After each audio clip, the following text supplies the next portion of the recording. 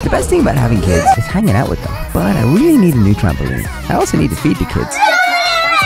First, it's shower time. We always feed the kids separately for mental health reasons. Kids don't mind as long as they get pizza. Get to have my own pizza. And they all want different drinks. Apple and blackcurrant, please. Seven, sweet, Once the kids are fed, it's time to feed the fox, who also loves Domino's pizzas. Now, what do I want to eat? Get maybe a double McPlant because it's fast and it's the closest thing to the real deal. Now, if you want to make your McDonald's fancy, I recommend adding some wine. I use the one glass per child rule. Then it's a case of checking to see if the kids are distracted enough so we can enjoy food and watch some TV in peace. They never last long, but I wouldn't change it.